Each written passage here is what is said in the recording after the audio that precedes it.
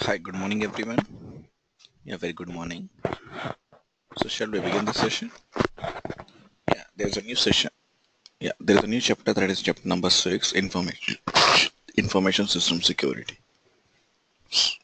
Okay, so wait for others. Alright.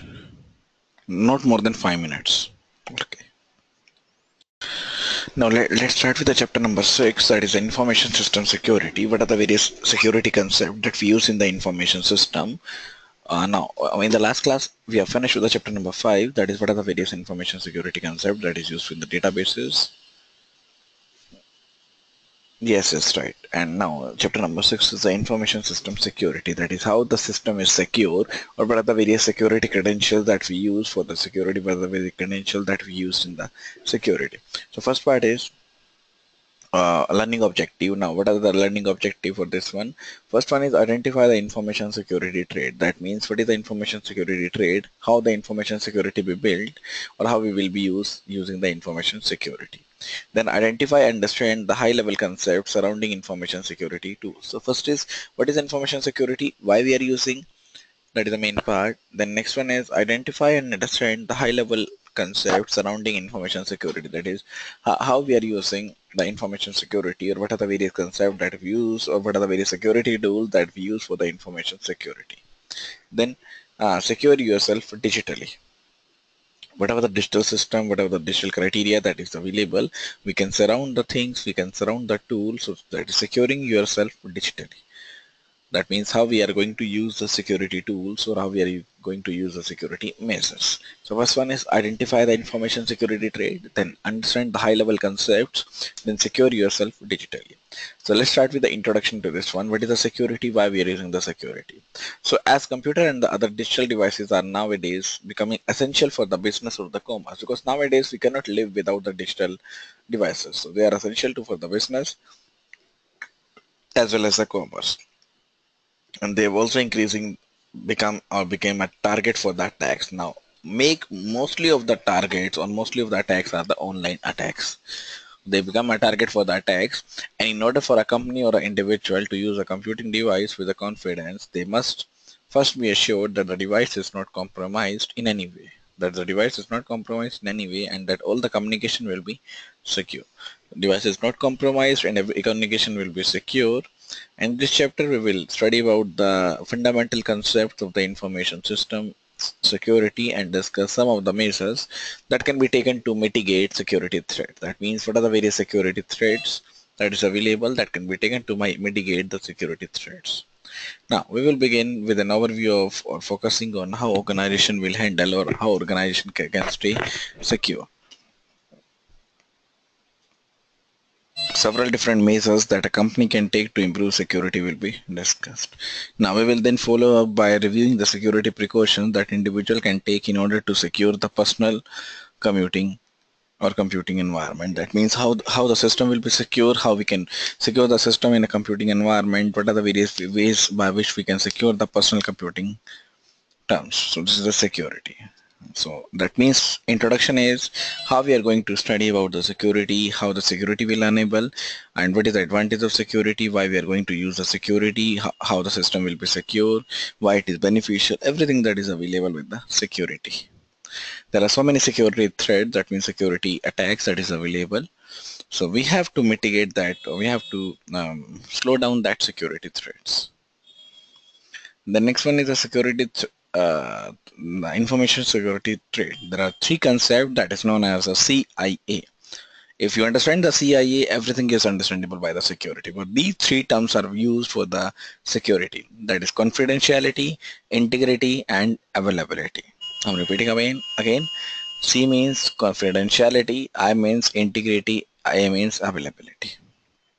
Now, let's talk about the what is a confidentiality can uh, bench mean you are online. Can can you um, assume or can you judge? Can you try what is the confidentiality and how it becomes a part of the security?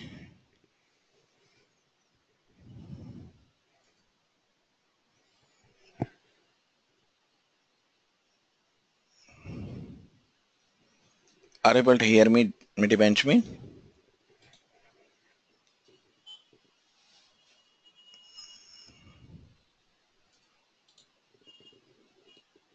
Hello.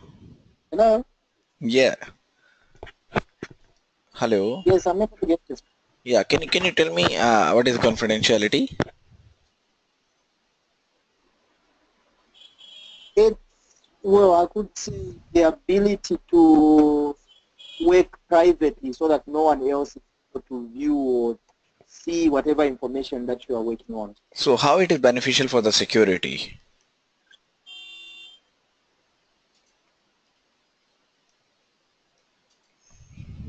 So Come how, again?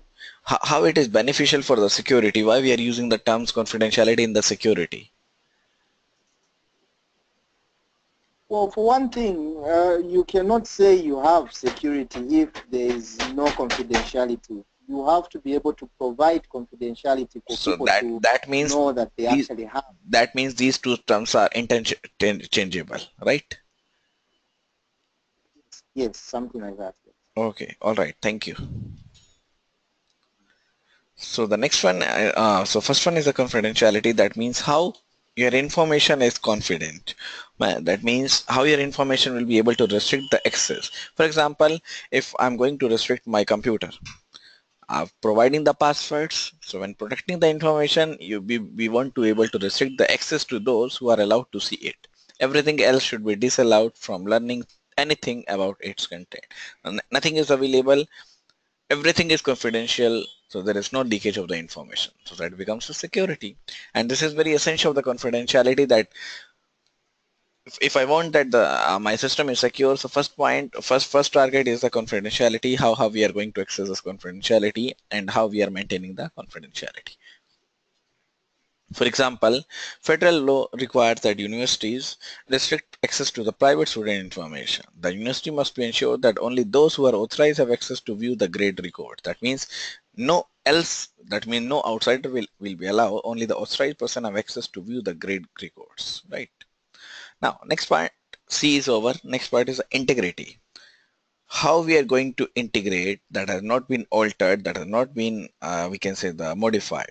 So integrity is assurance that the information being accessed has not altered and truly represents what is intended.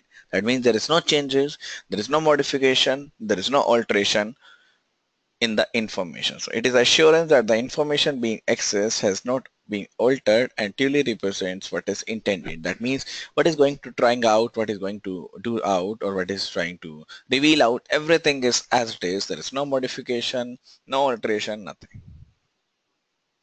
Just as a person with the integrity means what he or she says and can be trusted to the represent the truth. Information integrity means how information will be secured or how information will be presented in a better way, in a precise way that cannot be altered. But sometimes information can also be leaked out. So that in that case, that that information or that integrity will be lost out through the malicious intent, such as when someone who is not authorized make a change to intentionally re- misrepresent something. An example of this would be when a hacker is hired to go to the university system and change a grade. This is one of the example that when hacker is hired to go to the university system and change the grade because hacker hack the data, hacker can change the password, hacker can access the part password, hack the part. That's why their name is ha- hackers. So they can go to the university system, they can track out the university system, and they can also change the grade. And integrity can also be lost unintentionally such as when a computer power surge corrupts a file or someone authorized to make a change or deletes a file or enter the incorrect information. Yeah, um, there are some cases when the power has gone and uh, after the power has come, our document will be opened. There is option like open the document that has not been saved. So in that case, anyone can access that system if there is no password if the available data available in the C drive or the D drive that can corrupt a file or someone authorized to make a change accidentally that deletes a file or enter the incorrect information. That is the integrity.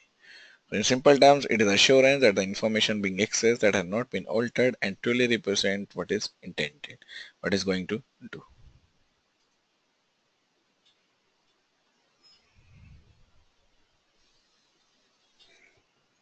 So we have done with the C, we have done with the I. Next one is availability. As the name advice availability, that is how the information will be available to the third party or how the information will be available.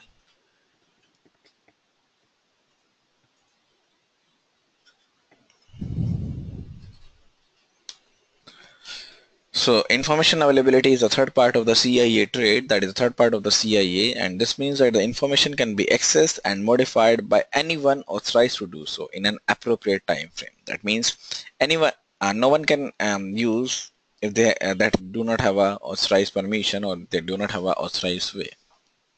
The information can be accessed and modified by anyone authorized to do so in an appropriate time frame depending on the type of the information what is required. Appropriate time frame can means different things. So if it is a very very small information about the student details that means less time frame and if there is a huge organization data that means a large the more time frame for example a stock trader needs information to be available immediately while a salesperson may be happy to get sales number for a day for the day in a report in the next morning yeah stock trader that is available that needs the data that needs information that is available immediately. Whatever the information that is used they can access the information they can access the uh, part immediately and while a salesperson? While the salesperson may be happy to get the sales number for the day in a report in the next morning? That means he or she have to wait for the next morning have to report for the next morning Companies such as Amazon.com which require their servers to be available 24 hours a day, 7 days in a week. That means they cannot suffer if their web servers are down for a few minutes once in a while. That means everything is available online. Yeah, this is this is a part of the availability. This is a part of the CIA triad and this is also the security enables. So this is also next part that is uh, this is the third part that is availability. That means the information is accessed and modified by anyone that is authorized to do so in an appropriate manner not the unauthorized manner. So C that is the confidentiality then I integrity and next one is the availability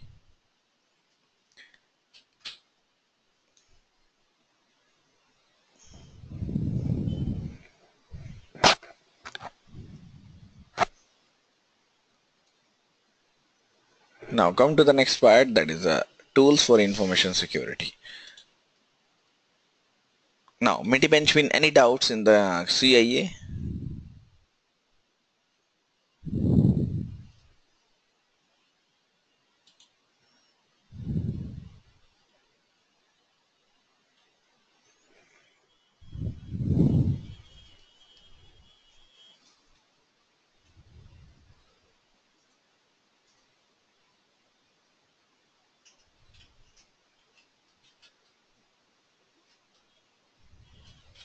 Okay, so next one is what are the various tools for the information security, how the information security will be gathered.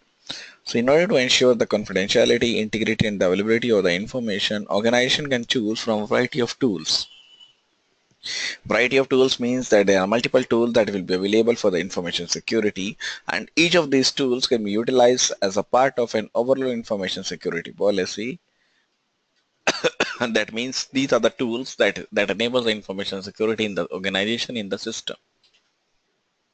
Now let's see what are the various tools that is available. And there are two uh, tools that is very important. One is authentication one is the authorization. This is the most common way to identify someone is through their physical appearance. But how do we identify someone? That's sitting behind a computer screen at a time or at the ATM? That is how from the back we represent that who is sitting over here, who is sitting on the computer screen. Now, tools for authentication you are used to ensure that person accessing the information is indeed who they represent themselves to be.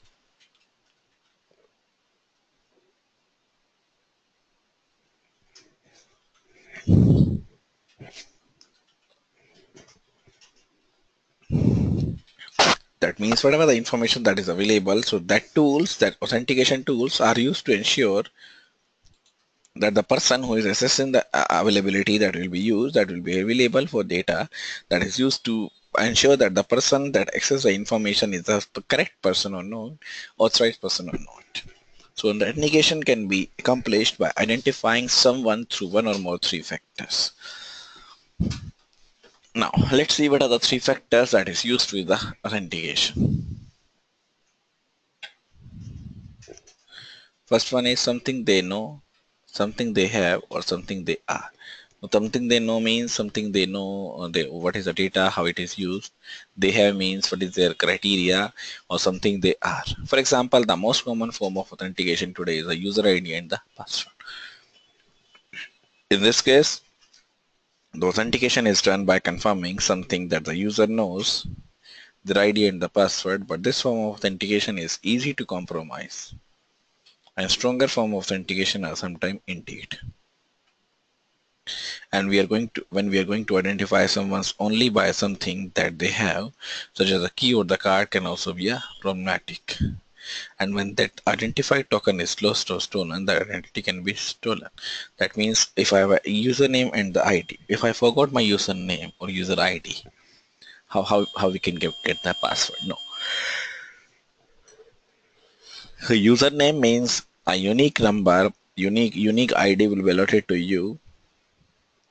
That only provides the information to you. And password must maybe changed from time to time if you forgot the password that is also okay you have option to forgot password but if you have uh, forgot your user id that is very difficult to capture that the final factor something you have is much harder to compromise the, this factor identifies the user through the use of the physical characteristics such as the eye scan or the that is the eye retina or the fingerprints. Identify someone through their physical characteristics is known as the biometric. So whenever I want to identify someone through their physical characteristics that is known as the biometric. And the more secure way to authenticate the user is to do multi-factor authentication. And by combining two or more of the factors listed above, it becomes much more difficult for someone to misrepresent themselves. That means whatever the data that is available, they must be represented or they must be misrepresented with the communication. And one of the example of this would be the use of a RSA SecurID token. And this device is sometime that you have and will generate a new access code every 60 seconds. And to log on into the information resource using the RSA device, you combine something you know and a four digit pin with the code that is available with the device and the only way to properly authenticate is by knowing the code and having the RSA device. That is how we are going to use the RSA device. That is also authentication part.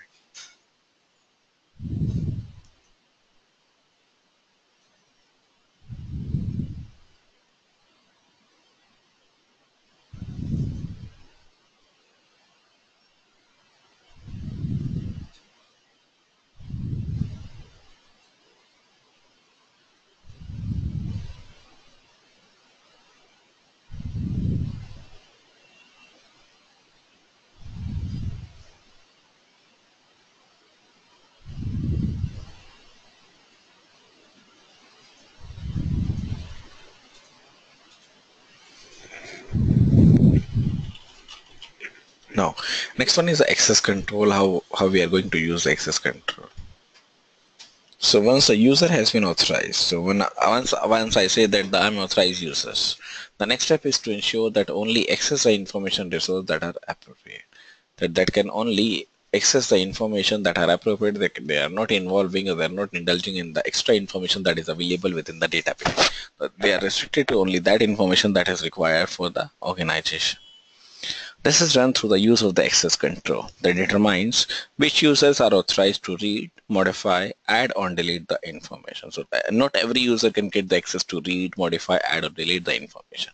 But some users who are authorized users to read, uh, they have an opportunity to read, modify, add or delete the information. And several different access control mechanisms also model also exist. One is the ACL that is access control list and one is the role-based access control or access control that is a RBAC. And for each of the information resource that an organization wishes to manage, a list of the users that have ability to take specific action would be created. So there is a specific action that should be created over here that is known as access control list or the ACL. And for each and every user, specific capabilities are assigned. That means read, write, delete, or add. And three of them are the most important. That is read, write, ex execute. That is RWX. And only users with those capabilities are allowed to perform these functions. If a user is not on the list, they have no ability to know even know that the information resource exists or not. ACLs are very simple to understand and maintain. However, they have several drawbacks, that is access control list. The primary drawback is that the each information resource is managed separately. So if a security admin wanted to add or remove a user that have a large set of information resources, it would be quite difficult. And as the number of the users and resources increases, ACL become harder to maintain. This has led to the improved method of the access control known as the role-based control access control that is RBAC. So instead of giving the specific users access right to the information resource, user are assigned to the role. That is, what is the role that will be available? What is the, the category that will be used for the information control that will be accessed or that will be used in a, in a specified manner. So with the RBC or RBAC, instead of giving the specific users right, we are assigned to the roles, then these roles are assigned to the access. So instead of assigning that um, directly with the uh, access right we are assigning the role that will be indirectly going to the access. This allows the admin administrator to manage the users and roles separately. That simplifies the admin part and by extension improves security. So that will be used to manage the users and the roles in a separate manner that also simplifies the admin and also by extension also improves the security for example, this is access control. Uh, there's a JSmith that have a read option, really, that have a read option, Quingin that have a read, write, add, delete, both the options. Robert have only two options in the right in the same way. Mendelson has also had two options. This is going into the role-based access control. Reader have a read options. A reader have a reader in the right option. Admin have a each and every option. Now role assigns. JSmith becomes reader because he, have only read option. Now RL become a reader because he have only or he or she have only the read options. Then Quingin have both the option that becomes admin because every option is available with the admin. In the same way, last two that is the Mrobolt and the Mendelson, they have a option for the writing, so they have a editors. Editor have a option for the read and the write. There's no one that have option of the read, write and add. No, that is only provided by the admin that have all the options. All the option means read, write, add and delete.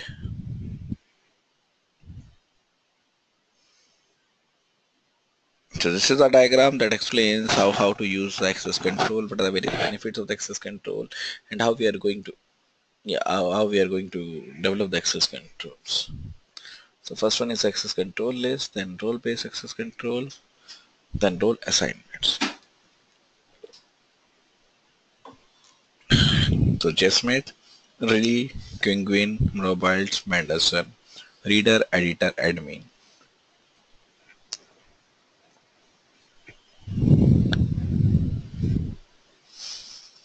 Now next one is the next part is the encryption. So we have finished with the authentication. We are finished with the access control. Next tool for the information security is the encryption. Now let's see what is an encryption. So many times or many a times an organization needs to transmit the information over the internet. So in most of the times many organizations or an organization needs to transmit the information over the internet or transfer it on an external media such as the CD or the flash drive. In these cases, even with the proper authentication and the access control, it is possible for an authorized person to get access to the data. Now, what is an encryption? It is a method of encoding data upon its transmission or the storage that so that only authorized individual can read it. So what is encryption? That means changing from the normal text to the unreadable form. That unreadable form will be only carried out, will be only used by the, uh, only, only, only get it by the authorized persons, authorized individual who can only read it.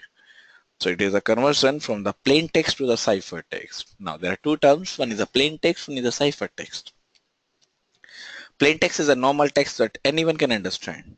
And ciphertext is the text that only understand by the authorized users. So if, if the data is converted or the text is converted into the ciphertext or the unreadable form, so eh, how, how, how the hackers will use that data. Hackers can hack their data, that I agree, but they are not able to use that data because they are not going to understand what is written in the, uh, what is the content that is available because they are in the encoding form. They're in the coding form, we can say.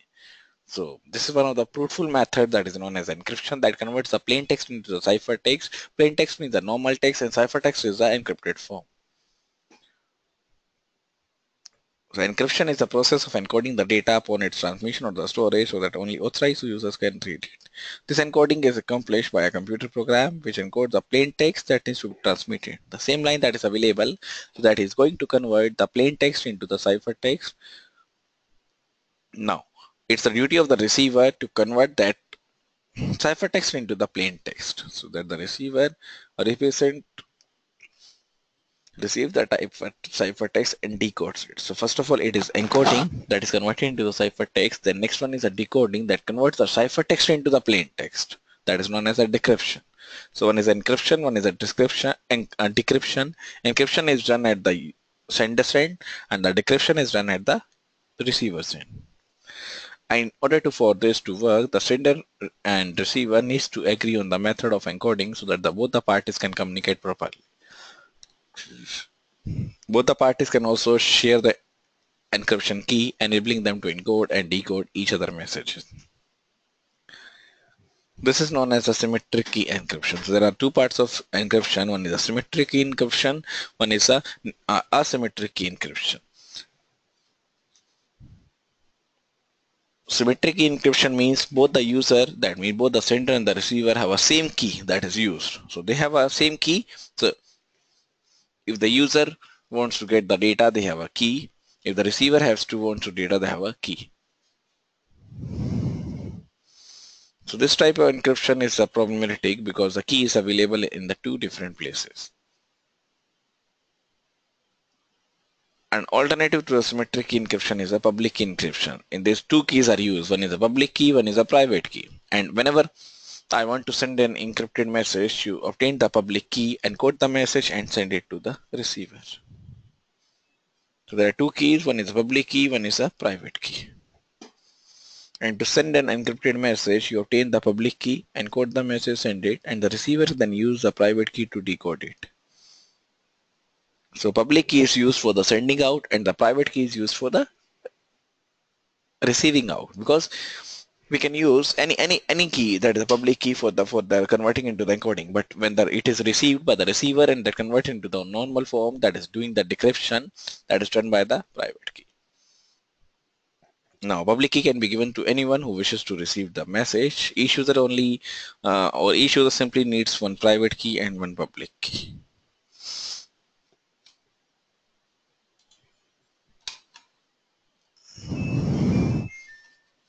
and the private key is necessary in order to decrypt something event or some something that is sent with the public key. So whatever the public key data whatever the public key information that is available that is sent out that is uh, used in order to decrypt the something that is used with the public key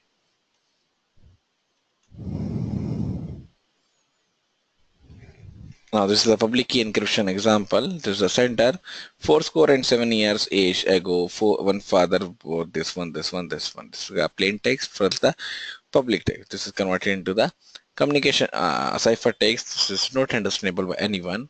And receiver again uses the private key to decrypt it. So one is the sender that uses the encryption that, that that converts the data. One is a communication channel. That is the way by which it is going. That is converted into the cipher text. And at last it is received by the receiver that is getting the plain text by the private key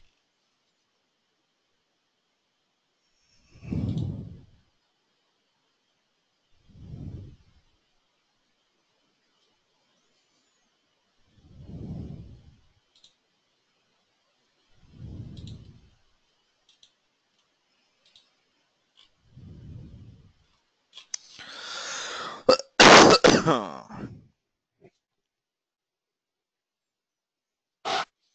next is a sidebar that is a password security. Now what are the various key terms that is used or how the password will be secure? what are the various criteria for setting the password so that our password will be secure that is not understandable by anyone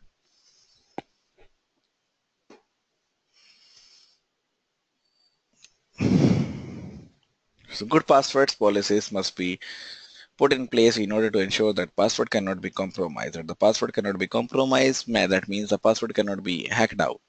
And below are some policies that means there are some policies that is given for the organization that is how the how the password will not be break or what is the main practice of the good password that is the password security. So first one is requires a complex password that means that cannot be easily hacked by anyone cannot be judged by anyone. So if anyone can judge that is not a good password so make the password that is not easily judged by anyone so that requires a complex password that includes uh, keys, that includes a method, that includes a ways by which they are communicating. So for example, that a password must contain the numbers, alphabets, special symbols, everything.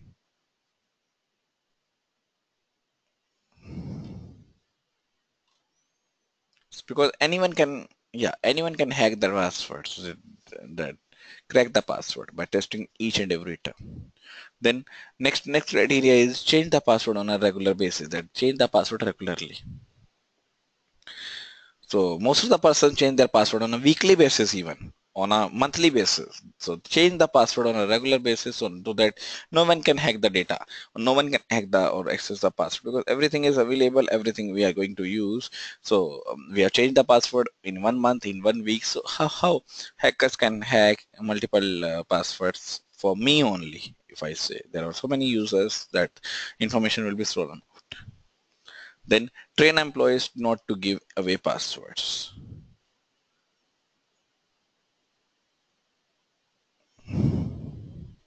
That means we are not using the admin, we are not using the login, we are not using our name, mobile number, but they are easily capturable by the persons.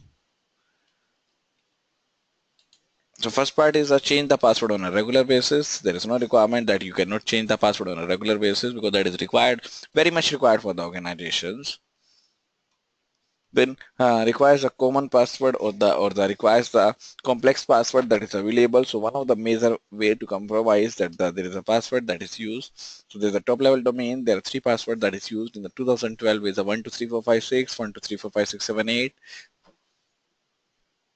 that is uh, name of the company at the rate 1234 name of the person like uh, my name is Himanshu then HIMN SHU at the rate 1234 so these are various things that we cannot use while setting up the password because hackers can easily crack these passwords because they are used to with this password.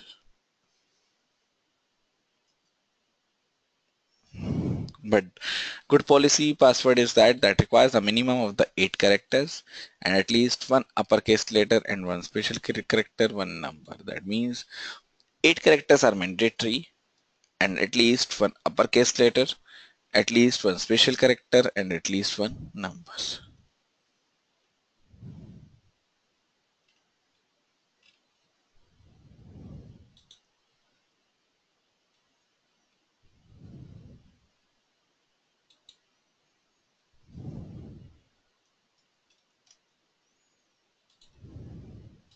Now, next term is the backups, how we are going to take the backups. This is the last topic for the information security.